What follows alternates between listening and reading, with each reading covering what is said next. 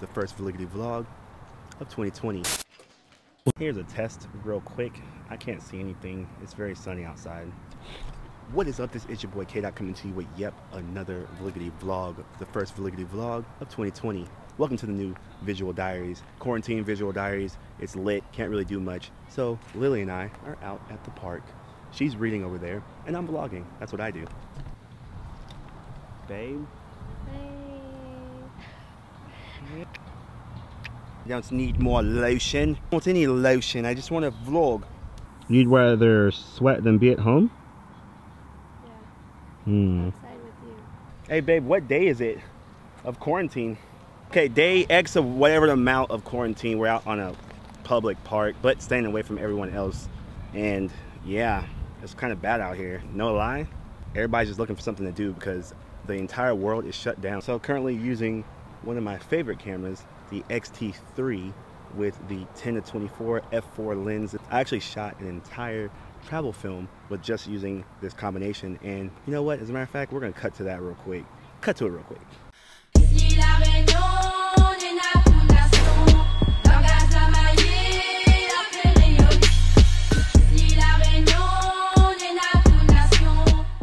Also, currently have the Nikon Z6. You know what?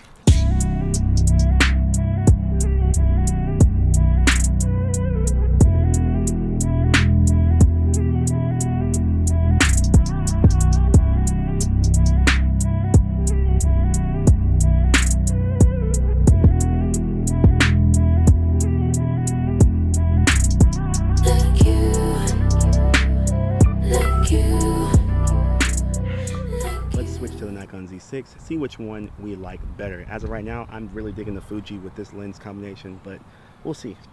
Shit, Like, let him get his shit off. Saying he has so many options babe. Wait, we can cheers. See? I have a braid. I love your braids. Figure what bigger way to start the quarantine than to start doing vlogs again. So we're at the park and she's reading and I am vlogging. Hey babe. Hey, hey babe. Dinner is served. I'm not eating Uncrustable for dinner, yo. Hey babe, see the couple over there doing yoga?